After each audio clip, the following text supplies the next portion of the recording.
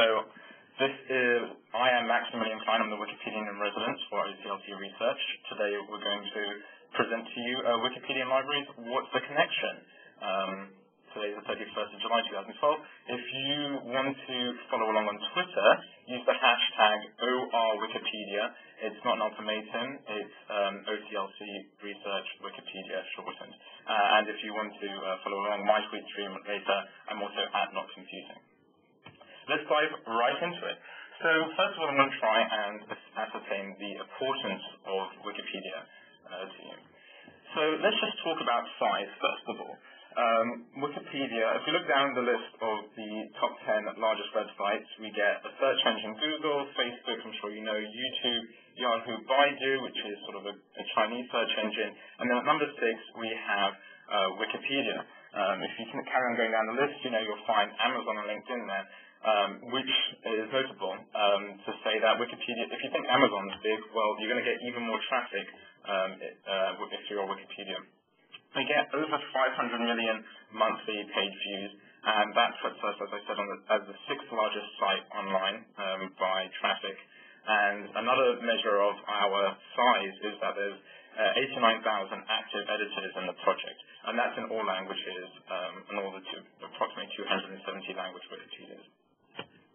But if you look at the top 10 list in a different view, you'll see, um, and we try to and, and determine which of these are non-profit organizations, Wikipedia is the only one there. So not only is it large, but it's actually a different sort of organization.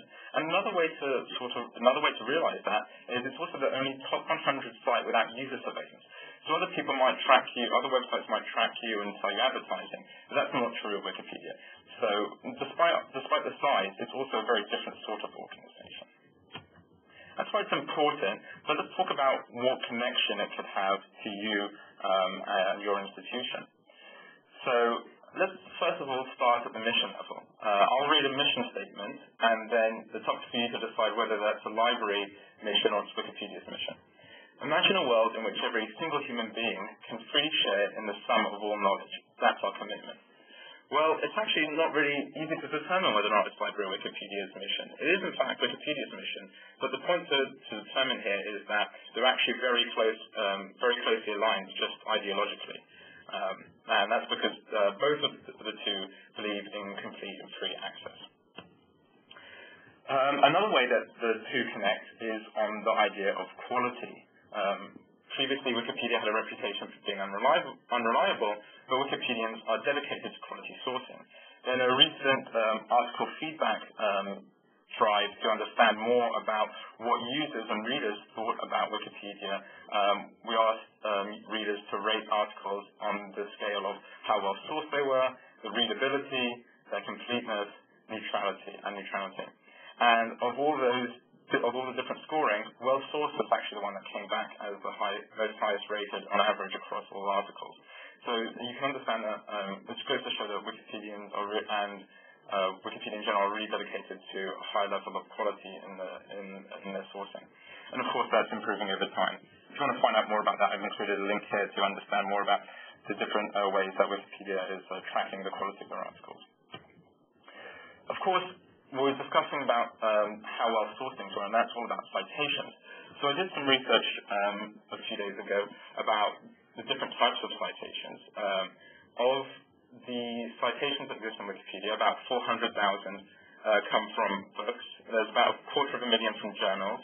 Uh, you know, 50,000 from other encyclopedias and um, 300,000 from newspapers. In total, that makes us just over a million of uh, citations that are coming from print. In comparison, you get about 1.1 million citations that are coming from the web. So this goes to show that print citations are as common as web citations essentially on Wikipedia. So there's still a really large demand for print citations and they're still heavily in use. Also, you can find that about 94.2% of all articles, and of course this is on English Wikipedia, uh, contain at least one reference. So this, in terms of citations, Wikipedia citing reliable sources. This is actually this is high and it's growing larger, and they're still using a lot of the sources that library, libraries are providing. If you look in the reverse direction of instead of Wikipedia citing uh, ac academic sources, academic sources citing Wikipedia, that's also been um, that's also been increasing over time. So um, from Wikipedia uh, has been cited over 3,000 times in the last nine years, according to WOS and Scopus databases. Um, that's been uh, improving at sort of a geometrical level because in 2003, uh, the Scopus um, corpus of articles uh, cited Wikipedia four times, and then and in 2010 they cited Wikipedia 933 times. Of course, you have to understand why it's citing Wikipedia. There are certain cases when it's appropriate to cite encyclopedias, just like any other encyclopedias. Um, but and there are also some research that are happening uh, about Wikipedia as an encyclopedia and not using it as the source, but rather as a topic. But it has actually grown um, in legitimacy within the academic lens. So fair enough, I've explained the importance and the connection, but how are you, you going to get engaged in Wikipedia? Well, let's think about how the research flows and the power flowed in the pre-internet age. Uh, as we can remember, we had a question in our mind. That sent us to the, making a catalog search, and of course, onwards we went to the stacks. But how is it flowing now? Well, we still have the same questions, but typically that's not start, that's not converted into a catalog search, that's into a web search. And a lot of web searches, as we'll know, um, end in Wikipedia results uh, especially if you're using Google or another search engine that um, prioritizes Wikipedia. What could this look like in the future? Well, it's my claim that we're going to go, still going to have questions, we're still going to use web searches, and those are still going to point us towards Wikipedia. But we should get people to, talk to the library at the end. Now, the library doesn't necessarily have to mean a physical library, but it could also mean the digital services that libraries are offering. And I think that this is going to be the true flow of research in the future. My only one remaining question is this. How are we going to make the links from Wikipedia into the libraries so that the research flow goes from question to digital or physical library? Well, I think a lot of people, I think that it isn't contentious to state that the research should end at the sources. I think most people will understand that, and this is basically the party line coming from both libraries and Wikipedians, um, and and a variety, and academia as a whole, and research libraries. Um, there's still the open question, though, is how to create those links between Wikipedia and libraries. And that's going to give us uh, three main questions as I see it. Who's going to do the linking? What exactly needs linking? And where's the linking going to terminate? Let me just, as any good um, research, let me give you some background about what's happened so far. So this is going to be sort of an overview of the ways that Wikipedia and libraries have collaborated thus far. Um, that happens, I've determined, in about five different sections. So the first is direct editing, and that's um, institutions uh, editing their own, editing Wikipedia uh, in regards to their own special collections. We have editathons, which are events that bring Wikipedians to the sources at, at libraries. Workshops, which train new editors on how to create or edit Wikipedia and bots, which are software that automatically edit Wikipedia. Lastly, we have media donations, which are bulk uploads of media to the commons. Let's go one by one. So first, let's talk about direct editing. And this is the model of librarians editing Wikipedia and linking their own special collection. And it's probably the earliest attempt at making this sort of link between Wikipedia and libraries. Um, one of our, the biggest or earliest examples of this was the University of Washington Library. And the topic, I believe, was um, Alaskan excursions. And the University of Washington Libraries have a lot of um, information and book um, sources around the, Washington, uh, the Alaskan excursions. Um, and so they edited Wikipedia Alaskan excursions using uh, the sources that they had themselves and then uh, put external links to their own libraries, uh, to their own collections. And this had some success. The advantage of this sort of method is that it's actually quite efficient because it's being completed by a paid workforce, i.e. the staff of University of Washington libraries. Uh, the disadvantage is that these, it's sometimes difficult to edit Wikipedia uh, if you don't know the, entire, the, the complete rule set.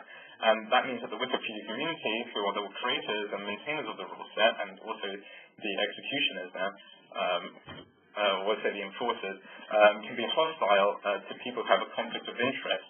Um, and if you unknowingly break Wikipedia policy, that can sometimes result in some sort of um, some, some difficulty. So in sum, you, you can link make you can link traffic from Wikipedia to your special collection of sites. Uh, it's done by paid staff, and it sometimes can be difficult because the community can be hostile if you don't execute it entirely perfectly. So that's direct editing, and that's one way and one of the earliest attempts at um, linking to libraries from Wikipedia. Next, we have the idea of editathons, and that's basically where you invite Wikipedians and patrons alike into the library for an event, and you can possibly give them some access to rare materials that your library holds. Um, these are planned events um, and for instance, this happened at um, Princeton Libraries um, in the last, in the previous few years, and I think it was to do the special collections were to do with um, Princeton uh, alumnus, alumnus and um, also I think some women, uh, some of the women's history that occurred in Princeton. The advantages of having these sorts of editathons is that you can bring some newcomers to the library. So people that typically wouldn't be visiting the library, i.e. some Wikipedians are just in the area, um, will, will start coming in. And um, this can also um, expose some rare materials that you have uh, to the internet as a whole, uh, because generally it's a treat for some of these people who are generally interested in the subject or generally interested in Wikipedia as a whole to get their hands on some of these sort of materials. The disadvantages, I would say, to the editathon is that you there are there's varying quantity and quality of the work. So you can get people in for an editathon, but maybe that's a four-hour event or you know, an entire weekend, but that's sort of a one-shot deal, um, and you don't know exactly what you're going to get out of it, depending on how many people come, etc. And it does require a bit of event planning. Um, so you can get in, in some on in the editathons, there's a planned event you can bring in some foot traffic, get your uh, materials exposed, um, and you don't even know exactly what's going to come out, although you will probably get some sort of result. Uh, for instance, at the last editathon I attended, which was the San Francisco Women's Editathon at the Wikimedia Foundation, I helped edit an, uh, a woman who was an expert on uh, Takamura Itsuke um, to expand this article on this women's author. I provided her some uh, explanation of how biographical articles should work and she, of course, had the knowledge uh, about um, the uh, Japanese poet herself, so that was my collaboration between the two. Moving on, uh, another third, the third sort of way that you can get involved is by hosting workshops. And so what you'd be doing here is you'd be encouraging newcomers to edit by hosting workshops on different editing techniques. Uh, Harvard has, has done this. They've hosted an editing workshop, um, and uh, they found this to be quite successful. Um, they invited a variety of undergraduates and also professors as well to come in and learn how to edit Wikipedia uh, to gain the skills for them, for instance. Uh, and this brought in a couple of the, this brought in people that, uh, whose interests were piqued around the idea. Uh, the advantages of the workshop are that it focuses basically on new editors, uh, and those people that would be otherwise hesitant to participate in this in either the library or Wikipedia, but because you're calling out, um, you're, you're, you're, you're, focusing and phrasing the, uh, the event as a workshop for new editors, this uh, lowers the barriers to entry for lots of people. Uh, so that's really good in bringing in some fresh blood. Uh, of course, there is a disadvantage in that it doesn't ensure any ensuing work to occur. So once you uh, teach people how to edit, you also need some follow-up to ensure some editing will occur after that. Um, uh, it does garner new participants, um, and there's uh, low inertia here because this is just sort of teaching people how to edit, which is like a skill. So there's there's not that much uh, pushback in that respect. Um, but of course, you get no guaranteed action unless you follow up with them. Fourth on the list, we have bots. So bots are short for robots, and they're software that can edit Wikipedia extensively and automatically. So for instance, um, there's VIAFbot, which is actually the project that I'm working on at the moment, and I'll discuss later on in the web seminar. Um, the advantage, so, so right, this is just software that will crawl Wikipedia and make, um, make algorithmic edits. The advantage of that is that you can have an extremely large impact if the problem can be solved algorithmically. So I'm trying to add um, VIAF identifiers, which are sort of disambiguation, unique identifiers of a specific creator, to their pages. Um, so that's something that can be done without much human intelligence because you just have to sort of match names and dates and then and then place in a unique number from a from a separate database. So that can ha- this is going to affect you know I think on the order of uh, 260,000 articles, which is like one in 16 of every page on Wiki- pages on Wikipedia. So it can be really large um, if if done properly. or if, it, if your problem is applicable to this methodology. Uh, and then, of course, the disadvantage is that you have to have a very specific data focus or have the data yourself, and you have to have the skill to be able to program uh, that sort of editing bot as well. So again, this is scalable. It's useful for data integration projects. Um, it does actually take a large amount of community approval because to have this sort of rogue um, rogue artificial intelligence running around Wikipedia editing is sort of a scary thing to the Wikipedia community. So does, it's taken me about a month to chat with the 30,000 uh, English Wikipedians and to get approval for my bot to run. And again, it also requires programming skills to uh, edit by a bot. A fifth way to collaborate uh, that so far has been proven is media donation. And these are donations of public domain or CC, uh, Creative Commons by and share alike, uh, licensed images, text, and videos, sometimes audio as well, to Wikimedia Commons. And these help support free online materials, uh, or basically free online material that Wikipedia is. The National Archives has famously partnered with Wikipedia to accomplish this. Uh, so what the National Archives have done is they've taken uh, requests uh, and some of their own curated material um, about uh, from from their archives and digitized it, put it on Wikimedia Commons uh, for all to see. So there's pictures of a lot of pictures of old um, World War II era um, military vessels, uh, and also I've seen requests and I've read through some of the correspondence between uh, FDR and Churchill, and that's been scanned and OCR'd and uploaded um, to Wikimedia Commons. So um, that way, uh, National Archives is getting some publicity for itself um, by uploading and donating some of their materials to uh, this educational resource. Uh, so the advantage of that is that it, it, can be very promotional for yourself. In fact, the National Archives is famously getting a lot of promotion on, um, is getting a lot of attention for this. Uh, and also it can enrich your media by unforeseeable reuse. For instance, when the National Archives did scan the FDR Churchill correspondence, then it, it was OCR'd, but also uh, it was also transcribed by Wikipedia volunteers. Actually, that was on Wikisource, which is a sister project, uh, and it was transcribed into a free text or into a into a machine readable text interface.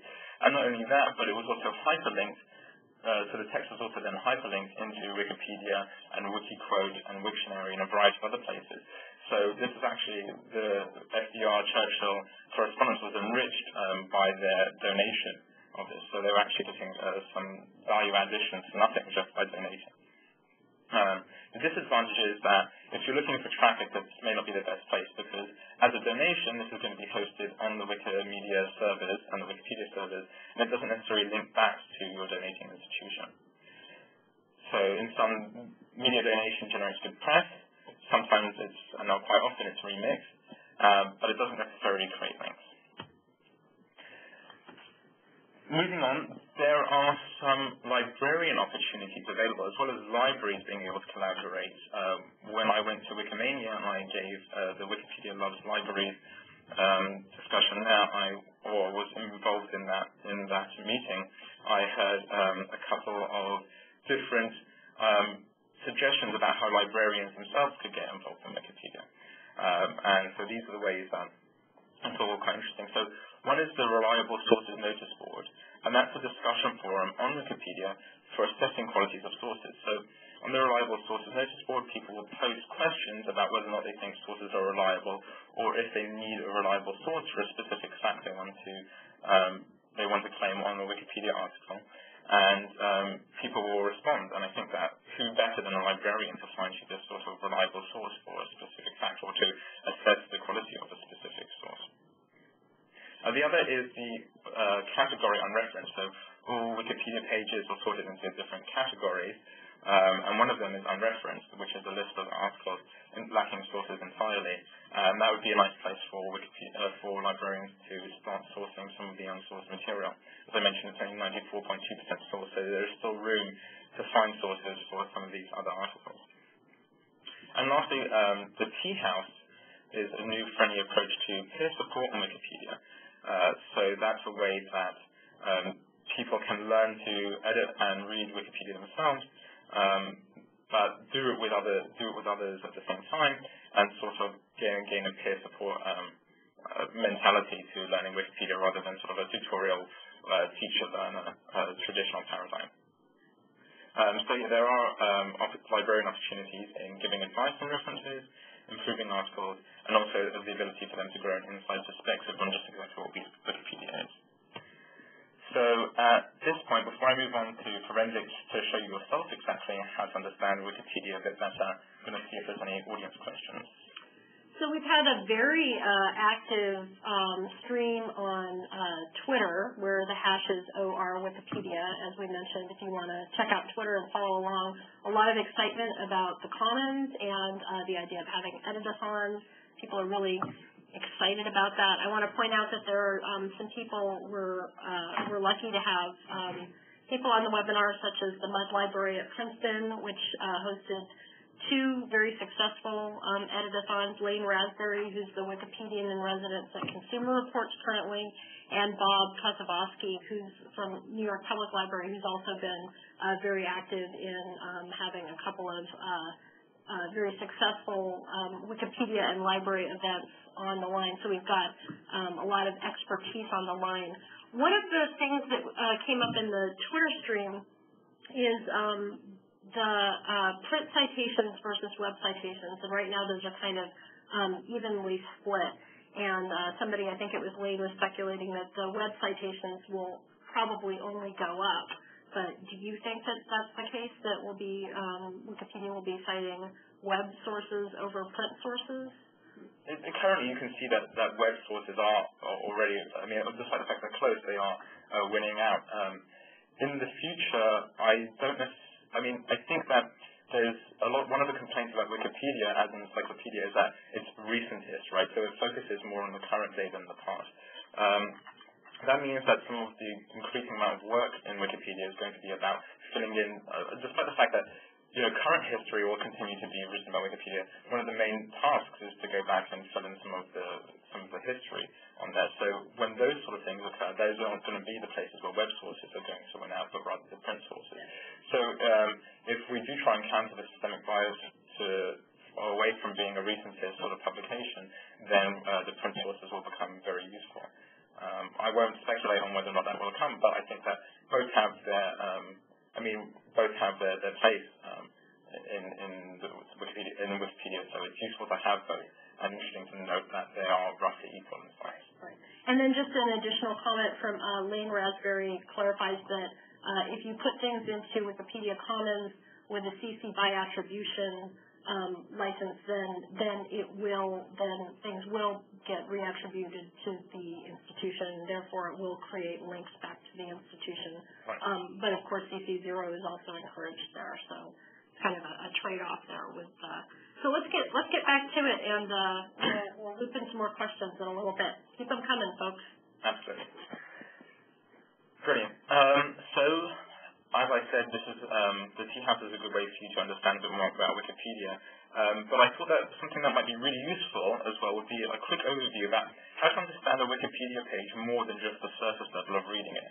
So I'm going to equip you with some forensics for that, how to dig a bit more deeply into how a Wikipedia page was made um, and its, its evolution. So these are the forensics. The first thing I'll start to talk about um, um, with no degree of irony is the talk page. So this is sometimes known as the discussion page, and it's the location where editors talk about the article. Um, and so you have to imagine a, sort of, a certain duality to Wikipedia, that every page is really two pages. Um, the, the, the, article page and then the, and then the talk page or the discussion page. So the talk page is this meta page that's permanently attached to the regular page, and it's where uh, you can talk to other editors. So I'm going to look at an example. Um, this is going, the example I'm going to look at is the article on the Egyptian Revolution. Um, and the question I'd have posed into you uh, before we look at it is, what would be some of the major talk today around the Egyptian Revolution article? So let's go to this article. I'll increase the font size. Um, so the way that you this would be the article as you would read it normally. Uh, by, by no, no doubt you're familiar with this sort of view. Um, but one thing that you may not be familiar with is that in the top left-hand corner, next to the article tag, the tab, there's also a talk tag. Um, so if I click on that talk tag, you'll get the discussion about the article. Um, at the beginning, you will be able to see there's some notes here about the article as I scroll down, um, but then the talk will follow afterwards, and I'll explain a bit more about these tags um, at a, uh, a bit later. But let's get to, straight to the content. So the first item here is that there's a, there's a section discussing a name change currently the um, article is titled The 2011 Egyptian Revolution, and then um, there's a proposal to change the name to 2011-2012 Egyptian Revolution. And someone asked what what uh, what time span does this article cover? Uh, and then you can see that some people are responding that that in Arabic it's actually known as the Revolution of the 25th of January, perhaps it should be renamed to this. Um, and some people agree that maybe since the events are still ongoing that it should be renamed.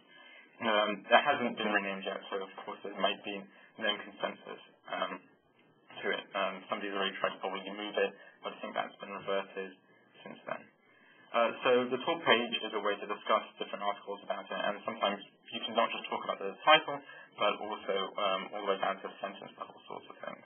Um, and so there are different um, ideas about, and then you can also discuss sourcing. So anything about the page here will be discussed. Um, so that's the talk page. It's a good way to understand what else is going on um, with a Wikipedia page rather than just reading it, but to see what other people have thought about necessarily the positive or negative parts of it. The next way that you can assess uh, a Wikipedia page is using the page ratings. Uh, every Wikipedia page is ranked on two scales. The first is quality and the other being important. Quality goes from stub to start through the lettering and all the way up to featured article and importance goes from no importance all the way to top importance. Um, so the way that you'd want to that you'd find in a, uh, a page rating um, would also similarly be on the talk page, and I'll show you that in a second. But first, let's give a guess about how good you think that the other Wikipedians have rated and um, and the feedback has um, demanded that or uh, prescribed that the Egyptian Revolution article is. Uh, so if we again um, you, to get here, you go from either the article page and um, you go to the talk page to find this out. And somewhere within the tags there will be um, there will be this idea of um, about a wiki project because wiki projects are the things uh, which are basically edited task forces and they will rate the articles. Um, and so coincidentally for this one, um, it's it's in the purview of a lot of wiki projects, uh, Egypt, Africa, Arab world, social movements and politics. Uh, and they've all rated it D class and of high importance. Um, it doesn't necessarily have to be rated up to the same uh, quality and importance to all wiki projects, but coincidentally this one has been. So that's another way for you to assess exactly how good a specific Wikipedia article is, if you're thinking about improving it, or if you're thinking about your library improving it, or improving it in, in a fun. Um, another question that I would ask about page ratings to you is, what percentage of articles would you think are stubs? And there are, in fact, an easy way to answer this question. Um, there's a page here about um, assessment, and it goes through the different criteria uh, for the different levels. Uh, but if we go down to the bottom, I'll show you a chart here that um, assesses the importance of articles uh, in a two-dimensional uh, matrix between importance and quality. Uh, but if we're just going to look at the total number of articles, this goes as about 2.7 million. Of course, it's a bit out of date because we know Wikipedia just crossed the 4 million mark.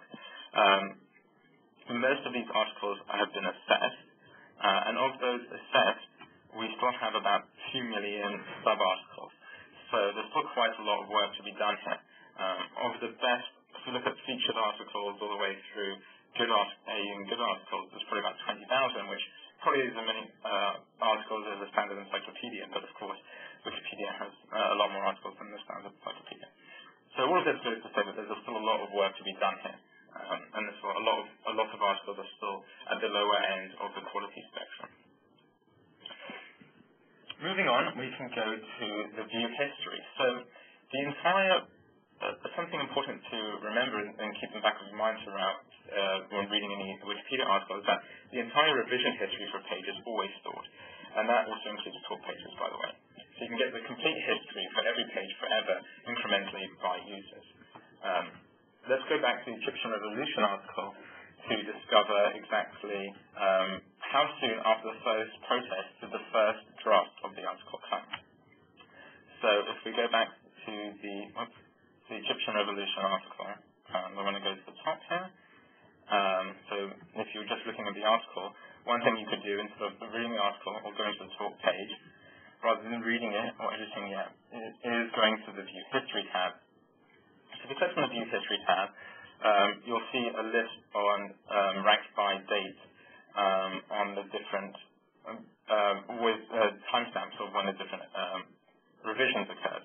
I'm going to go to the, the page of the earliest edits and scroll down to the bottom to get to the very earliest edit, which is this one. I'm going to click on the date to find it. And it occurred on 26 minutes past 1 on the 25th of January 2011. Um, if you read this part of the first sentence, you'll get something like the 2011 Egyptian protests are, present tense, a continuing series of street demonstrations um, taking place throughout Egypt. So you get a present tense article here, um, and this article does cite a reference. Um, it cites this one, number one, and I'm going to click on that. And um, the reference was quite curious because this uh, article says that protests will kick off at 2 p.m. Um, and this person's written the article at 1:26.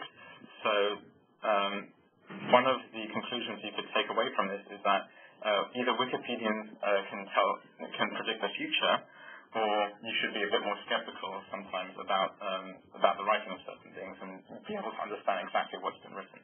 So that's one of my favorite examples to show that uh, viewing a complete revision history can actually be very uh, important and perhaps monumental to understanding a Wikipedia article. Continuing on, um, let's talk about user pages. So a user page, every Wikipedia article is written by a user, and the user page is itself the public face that a user chooses to show. Um, and the attached talk page of the user page acts as a messaging system to talk to people on Wikipedia. So this also means that private messaging is impossible by design because every page on Wikipedia is publicly viewable. So again, this is the profile and the messaging system that, enable, uh, that guarantees transparency on Wikipedia. So let's look at an example. Uh, the example I'm going to take a look at is the Egyptian liberal, and let's think, see what or she, he, she or he is discussing at the moment. So this is the 2000 Egyptian revolution, and we actually can see that it was written by the user, the Egyptian, the Egyptian liberal. So um, this user, this is the user's page.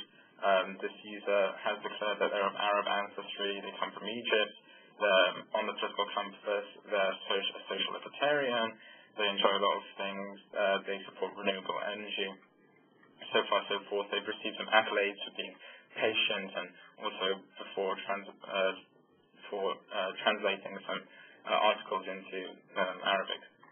And if you go to the talk page or their of their messaging system, so again from the user page to the talk page at the top left here, um, there's some posts that people have done, uh, people have made here uh, welcome template, um, but also um, people are asking to participate in project stories, um, also ask some notifications. Um, recent, or we don't know the gender of the uh, Egyptian liberal, so I won't say he, um, but when the Egyptian liberal recently edited the article on Hossam el-Hamalawy, uh, they added a link pointing to the page Old Guard, which is actually a disambiguation page because Old Guard can mean several things, so they're, they're asking him to um, solve it because he probably didn't intentionally point to a disambiguation page. So there, these are the different ways that messaging between people. Um, so that's a good way to understand some more background about uh, pages, if you will. If you as a library wanted to start editing pages that had to do with your institution, then you can understand a bit more about the history about what's occurring on those pages.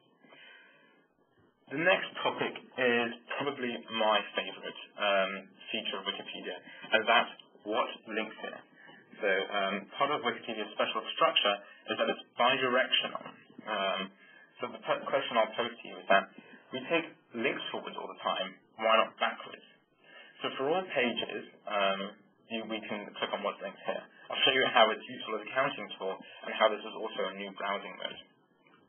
Um, so if we go back to the page on the Egyptian Revolution, what do you think links to that page? So um, we go back to, if we go back a few pages, um, so this is the article Egyptian Revolution. Uh, if you're viewing any page, um, you can expand the toolbox, which is in the sidebar on the left-hand side. And when you expand that, you'll get a, um, a link uh, that's titled What Links Here? And these will give you all the pages that have links to the article that you just clicked from, in this case, the 2011 Egyptian Revolution. So the page Amr Diab, who's an Arabic singer, has a link to it. Um, one of the funniest ones I saw so far here was interesting was um, V for Vendetta, and I was curious about that. But when I did a, um, a search on this page, I found that um, the film apparently, um, with four uh, with four references on the left, the film is said to have inspired some of the Egyptian youth before and during the, 2000, the 2011 Egyptian Revolution. Um, so the reason I point this out as a useful tool is that if you have a page that's uh, to do with your special um, special collections, you can see which other pages on Wikipedia are pointing to yours. Um, so that's a really nice way to be able to take links backwards on Wikipedia. And I think that, you know, my personal view is that the whole web should be like this, be able to take links backwards. But so far, it's just Wikipedia that's enabled this. Um, so there you go. There's uh, what links here. It can also be a very powerful um, tool um, because it allows you to template um, and or templates are, can sometimes be these things. Uh, one type of template is an info box, um, and they're structured. They're boxes that hold structured data. Um, so you're probably familiar with um, you're probably familiar with Wikipedia that of these uh, boxes that appear on the right hand side um, and contain different ideas like dates and location and forces. Um, so these are temp- these are these use templates. Um, uh, right, so these use templates to maintain a sort of unified look throughout the entirety of Wikipedia. Uh, and because they use templates, we can count the number of templates. When you call a template in Wikipedia, um, you uh, you actually link to it. So you can use um, oops, sorry. So you can use the what links here on the info box. Um, I was talking and writing at the same time. Um, you can use the, the what links here on an info box um, to see exactly how which pages use it. So if I go to info box book, which is used on book pages, um, you can see that Animal Farm, A Modest Proposal, and Clockwork Orange all use this template. Um, and when you link to a template, it's known as transclusion, by the way. So one other thing that I can do um, when I'm looking at all the pages that use the info box book, by the way, if we just click on that, uh, the clockwork orange, you'll see that it's the box on the right-hand side that contains the author, the country in which it was published or written, probably, languages that it's that was written, in, etc. Um, so all the pages that have that standardized um, standardized uh, template there, if I click on transclusion count, I can get an upper, I can get exactly, I can know exactly that there's 27,000 instances of that info box being used on Wikipedia um, which was useful for me because I wanted to count exactly for OCLC how many times um, there were links to OCLC because when you do have uh, an OCLC number in the infobox book, it creates a link to WorldCat. So um, get that. So that happens by default. So once again, up and down on exactly how many links there were coming into WorldCat in that direction. So that's a useful uh, tool, is the what links the next thing I'll show you uh, quickly is uh, page views. So these are page view counters. You can all pages, and you can view to MySpace prior. So um, on July 18th, there was a new um, Joyce biography, and I wanted to see um, what effect this had on Ulysses. So, um, well, uh, yeah, so if we go to um, the Ulysses novel, and we go click on View History, uh, again, and there's a link here on the right-hand side for view, page view statistics. Uh, this will transfer us to the page view counter. And you can see there was a bit of spike on the Ulysses page when a biography of Joyce came out. If we go further back in time, like 90 days back, um, we can look a bit more at, the, at this, and you can see a huge spike here, and I think this was uh, some sort of anniversary of Joyce. Um, so you can see that if your special collection that, that it was used 22,000 times. So if you have a uh, specific date in mind, then this can be actually quite a good promotional tool for your library um, to get some click-throughs because um, you can sort of predict when there'll be a lot of traffic coming to different pages.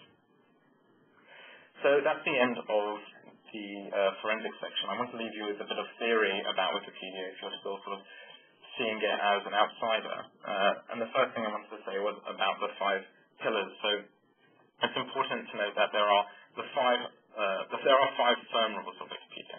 And the first is that it's an encyclopedia. It's not an indiscriminate collection of information or a phone book or any other sort of almanac. It's simply an encyclopedia.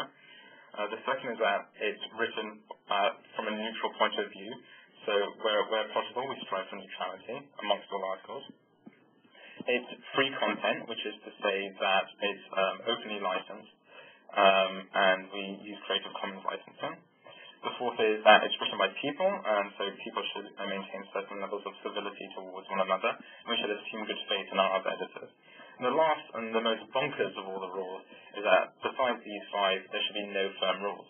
Um, so that's kind of the, um, you know, wishing for more wishes, sort of like uh, meta, you know, it's like the, the meta rule here that sort of keeps everything um, and to a large, large degree of insanity.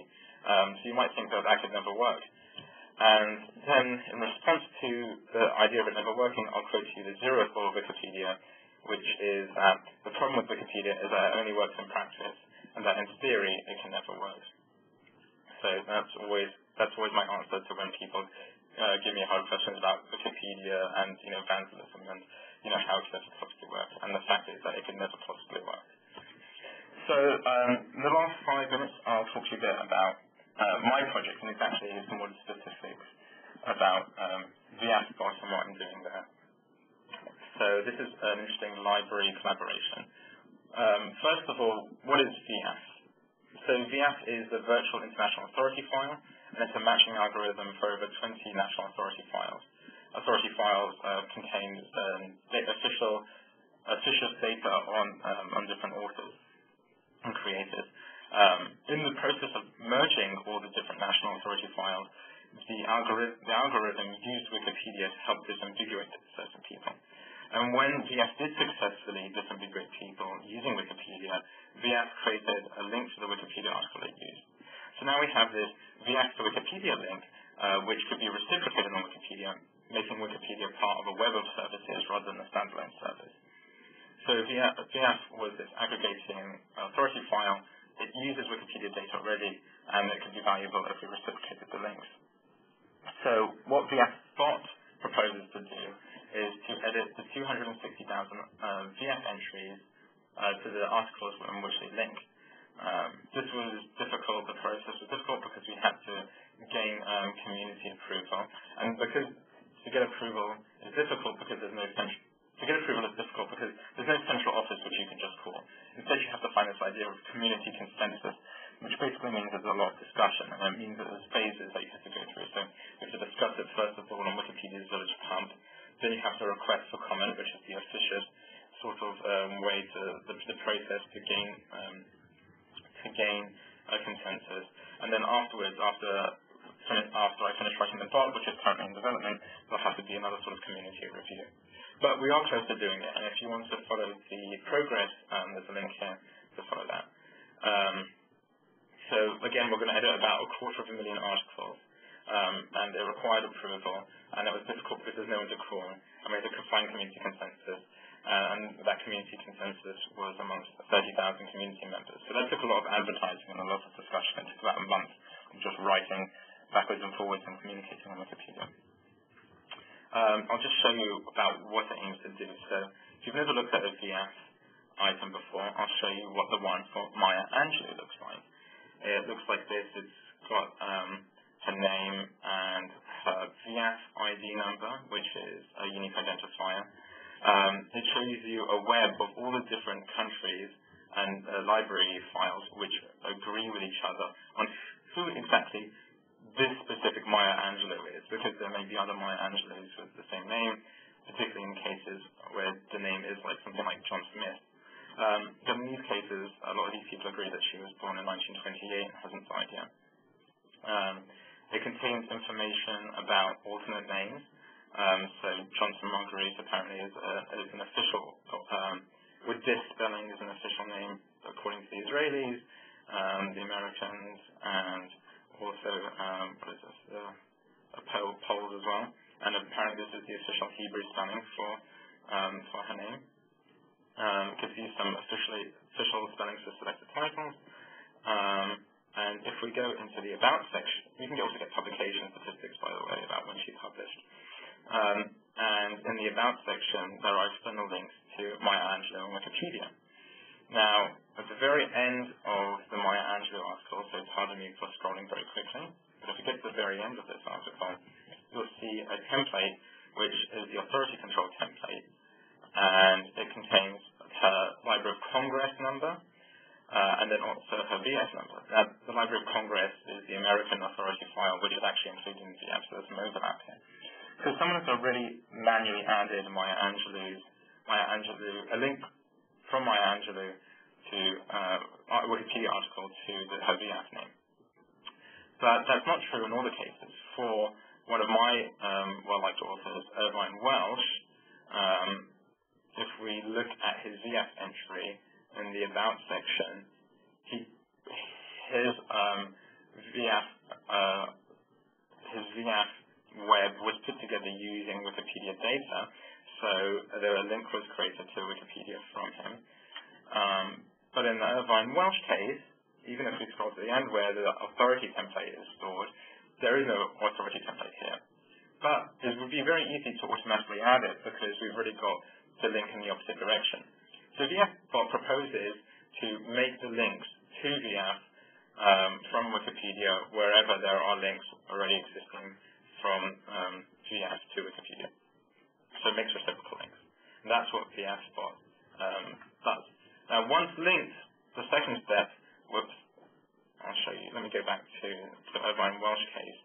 Um, there is, you, you, we can view um, the Irvine Welsh in, in not only in this sort of HTML form, but also in this like RDF way, so we can get like the official Japanese name of it as well. So this would be really useful because with Irvine Welsh, um, we could do algorithmic things like whenever you wanted to create a Japanese version of the Irvine Welsh article, you wouldn't have to look around for the Japanese name. You could just query VIAF for the official um, Japanese name or something like that. So that would be the future idea of how to of what how VIAF would be useful. So that's my project, just to give you some overview on that. And that, well, that should be completed within by the end of August. Uh, we're, hoping. So, uh, moving on to the next uh, section, which is uh, just going to be an ideas. Um, Wikipedia we, we want your comments essentially. Uh, Wikipedia Loves Libraries is a Wikipedian central approach to the two collaborating. And um, I'll show you a link at the end to get involved and, under, and request um, Wikipedian help for your library if you want. Uh, that's formally less than two years old. But we want more library voices in this area. It's not simply Wikipedia loves libraries, it's also libraries loves Wikipedia. And so we want to know exactly from you, uh, as me speaking on behalf of the Wikipedian community, what exactly you can imagine in this space, because so far the collaborations have sort of been not necessarily one-sided, but weighing heavily more on one side than the other. So I'm going to ask now for your questions and comments with regards to what libraries think can be done in this space. Merrilee? Well, while we're waiting for uh, comments to come in on that, I just want to call out some things that have come in either through the um, the webinar chat uh, or uh, that have been uh, highlighted in the Twitter feed, which in, in continues to be um, extremely uh, active with people showing a lot of excitement about um, various aspects of potential projects. So uh, one of the things that um, somebody says on the chat is if your library has a strong focus in a particular area, what about partnering with a wiki project related to that subject area to look up information or scan media as needed? And I would say that that's a probably a great a great idea for a way for a special library to get involved with Wikipedia. Right, and you'll really earn yourself a, a, a library would really earn itself a lot of um, rapport uh, from the Wikipedian community to start participating in a wiki project. And wiki projects aren't anything special; they're just simply a name to like an like a task force that's organized and dedicated to a specific goal. But that means that you're going to have meet the same people over again and, and be part of some sort of focused effort rather than just being some sort of lone ranger editing Wikipedia by themselves. So I wholeheartedly endorse Wiki uh, becoming involved in Wiki projects. Right.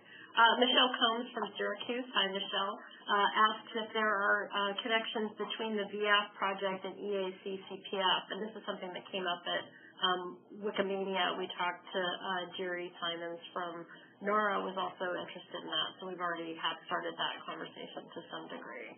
Yes, and I've been talking with, uh, been having emails with the National Archives uh, about possibly doing something similar from um, for uh, the, their new project, and um, I've been keeping that in mind. And the way that I've been writing VIAFbot is, is in such a way that it's going to be extensible to further projects um, and close collaborators. So I think that you're going to be able to see a really short development cycle for those because of some of the reusable code coming up in those ways.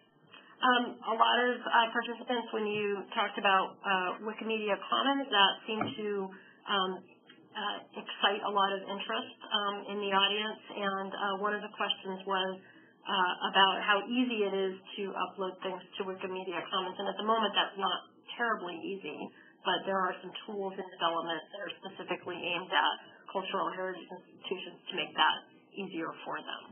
Right. So typically the way that Wikimedia Commons is one picture at, at a time, um, but the, that isn't to say it's the only way to upload it. And there are tools that have been created um, by volunteers to upload thousands, even hundreds of thousands of pictures at a time. These are bulk upload tools.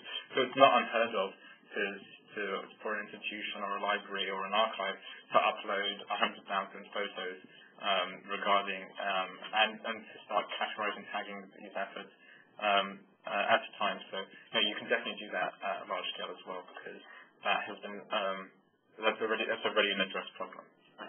So our colleague Jennifer Gatenby, hi Jennifer, um, uh, says that templates seem important for establishing links by tagging important elements. Do, tag, do templates affect quality rating of an article? So, um, well, I think that there is a correlation, but not necessarily a causation between the two.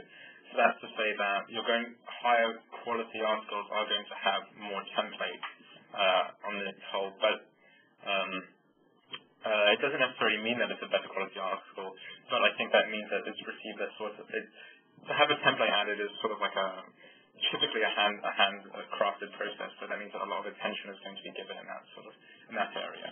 Um, so certainly it would even um, inspire somebody to change the to to to assess that article differently. So uh, I wouldn't necessarily say that that more, more heavily templated articles are better but better articles tend to be more heavily templated. Um, Sherry rightly points out the connection between the SNAC project, EAC, CPF, and um, use of VIAF. We're getting pretty far in the weeds with the acronyms about um, authority records here. Uh, going back to an earlier question, um, uh, there was a, a question, so the, the, the current model is go to the web, find something on Wikipedia, and then go off and do more research based on that. Why would people not just stop at Wikipedia? Um, well, I think the the level of depth. I mean, it's possible that I mean, if you just do want to find, you know, um, who write a certain novel or Kareem Abdul-Jabbar's basketball records, that you don't need to need to, to you know delve any further. But in the cases when depth is really required, and in the cases when rightly you should be checking the sources for what's being said, um, that's, that's that's actually like proper research. So I, I think it's, it's the the use case that's really important. Um, that, you have to think about. And yeah, some use cases can stop at Wikipedia, especially if you're not, if you know, if you're going to give a lot of trust to it. But I would definitely encourage you to follow the citations back to the actual link and not only will you corroborate uh, possibly what's written on Wikipedia, but you'll, I mean, you'll you'll find just more detailed information about what's actually said because whatever's on Wikipedia is, should uh, be uh, a paraphrasing of what's in uh, the source that it points to. Right. We have a question from the viewing team at PLOS. wondering what you think about the potential for feedback with the VIAF project and how will the data evolve and be contributed. So asking for clarification, is the bot going to run at regular intervals to kind of refresh the data, or what's the plan there? Right. So VIAF actually gets better over, uh, over time because people not only submit suggestions, but as more libraries um, join up to the project and um, and submit more records, then the VIAF becomes more accurate and the clustering becomes more accurate. So there is a need for it to update. Um, VIAF only updates um, itself between one or two times a year, but my goal is to have that uh, to, to peg the VIAF bot refresh cycle to the VIAF refresh cycle itself, and to have it continually updated whenever v, uh, whenever the VIAF, uh, VIAF database itself is updated. So I think we're we're uh, about at time here, but um, we will uh, be bundling up all of the Twitter stream and going back through the chat, and I think trying to um, address any outstanding questions uh, that we can. We're also blogging about the project on our blog hangingtogether.org, and of course you're uh, more than welcome to contact Max directly for um, uh, for uh, any any answers to any further questions. So I think we'll probably at this point turn it back to Melissa and just uh, just a comment. I'm so delighted to see all of the um, interest and enthusiasm and ideas being exchanged in, in Twitter. So uh, thanks to all of you for participating. Thank you.